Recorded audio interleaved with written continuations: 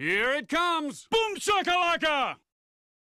Seu pedido é uma ordem. Lá no vídeo da seleção dos Sixers que eu fiz na semana passada, eu fiz uma enquete no final perguntando qual deveria ser o próximo time de vídeo de seleção. Eu coloquei Cavs, Pistons ou Knicks e deu Pistons com 52%, então este é o vídeo de hoje.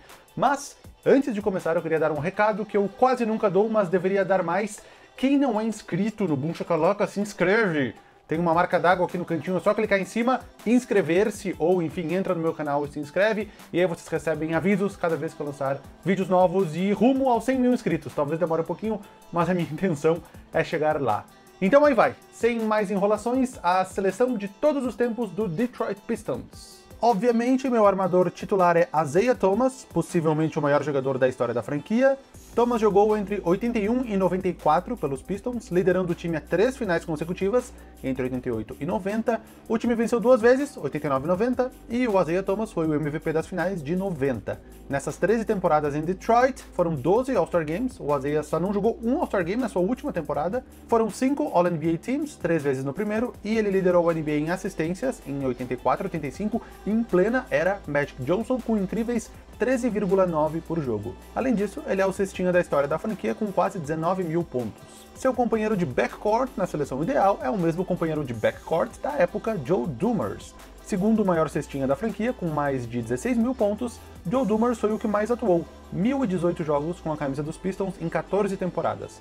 Também bicampeão, 89-90, Joe Dumars foi o MVP das finais em 89, disputou 6 All-Star Games, ficou 3 vezes nos All-NBA Teams e 5 vezes nos times de defesa. Michael Jordan chegou a dizer que Joe Dumars foi o seu marcador mais implacável na carreira. Assim como Azeia, Dumars está no Hall da Fama do basquete. O primeiro ala small forward é Grant Hill. Hill foi a terceira escolha no draft 94 pelos Pistons, ganhando o prêmio de Rookie of the Year, dividido com Jason Kidd.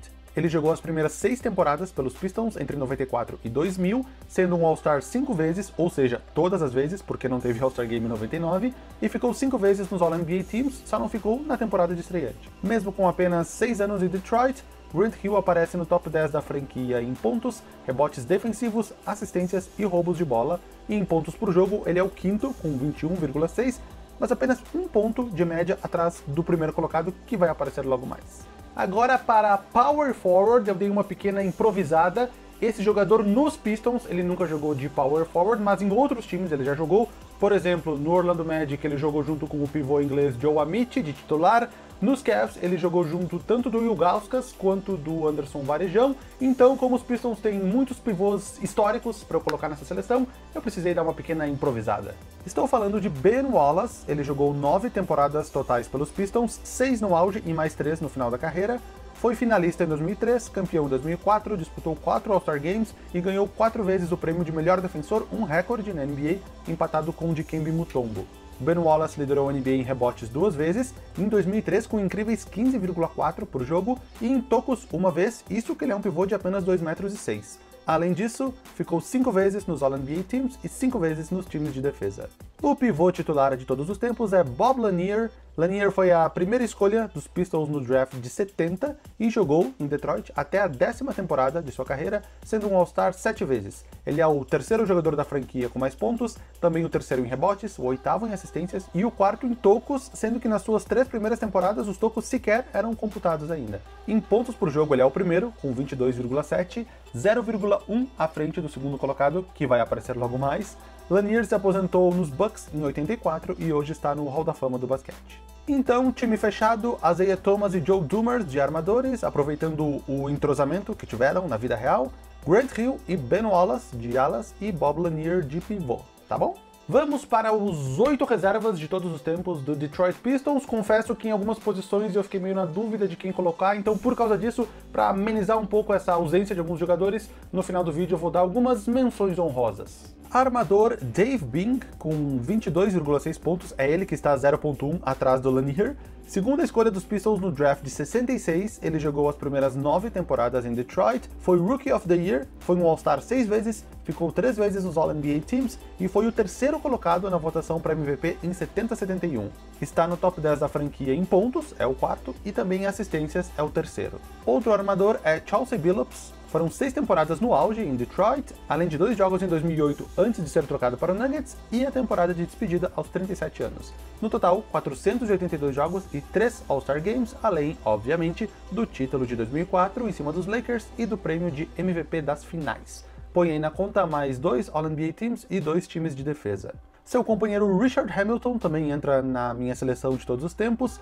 Foram 631 jogos em 9 temporadas em Detroit, Além do título de 2004, foram três All-Star Games disputados. O Richard Hamilton é o sexto maior pontuador da franquia, com pouco mais de 11.500 pontos, e é o sétimo em assistências e o nono em bolas de três pontos. O primeiro ala do banco é Dave DeBusschere, que foi a escolha territorial dos Pistons no draft 62. Um dia eu explico melhor o que é isso. Jogou as primeiras seis temporadas e meia em Detroit, com médias de 16 pontos e 11 rebotes, sendo um All-Star três vezes. Embora sua melhor fase tenha vindo posteriormente nos Knicks, The Butcher belisca uma vaga nos Pistons de todos os tempos.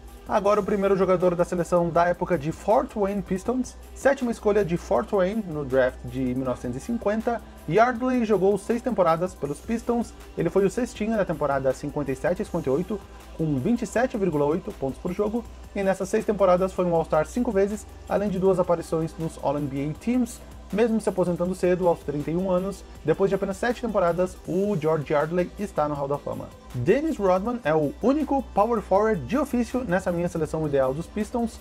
Rodman jogou as primeiras 7 temporadas em Detroit, sendo bicampeão em 89 e 90, All-Star em 90 e 92 e melhor defensor da liga em 90 e 91.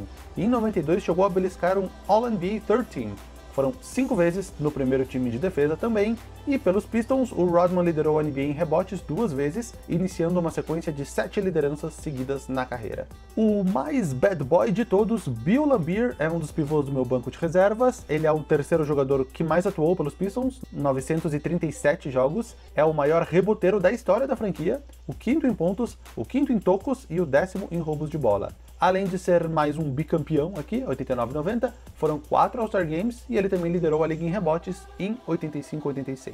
Com tantos jogos e com aquele estilo clássico de jogar, o Bill Laimbeer, obviamente, também é o líder em faltas cometidas na franquia dos Pistons. Para finalizar, então, o banco de reservas, para vocês não dizerem que eu não coloquei nenhum jogador moderno aí dos Pistons dos últimos 10 anos, aí vai o jogador que foi a cara da franquia nessa última década. E que foi trocado há pouco tempo. Andrew Drummond foi a nona escolha no draft de 2012 e jogou nos Pistons até ser trocado para os Cavs no meio da sua oitava temporada. Disputou os All-Star Games de 2016 e 2018 liderou a NBA em rebotes três vezes nesse período e está liderando essa temporada em andamento. Ficou no All-NBA Third Team em 2016 e está no top 10 da franquia em rebotes, é o segundo, em tocos é o terceiro e em roubos de bola é o quinto. E esses foram os cinco titulares e oito reservas dos Pistons de todos os tempos. Isaiah Thomas, Joe Dumars, Grant Hill, Ben Wallace e Bob Lanier titulares. Dave Bean, Chauncey Billups, Richard Hamilton, Dave DeBuscher, George Yardley, Dennis Rodman, Bill Laimbeer e Andrew Drummond no banco de reservas. Agora aquelas três menções honrosas que ficaram de fora por pouquinho da minha seleção ideal. Tayshaun Prince atuou pelos Pistons em 12 temporadas e era o small forward titular no time campeão 2004. Rashid Wallace era o power forward desse mesmo time, disputou dois All-Star Games. E Larry Faust foi seis vezes um All-Star quando o time ainda jogava em Fort Wayne. E aí, qual que deve ser o meu próximo vídeo de seleção de time? Cavs e Knicks estão eliminados da enquete, porque eles perderam a última, então agora eu tô fazendo outra enquete, as opções são Milwaukee Bucks, Sacramento Kings e San Antonio Spurs. O vencedor dessa enquete vai ser o meu próximo vídeo de seleção de time. Valeu quem acompanhou mais esse vídeo aqui no Bucha Calaca, até o próximo, um abraço.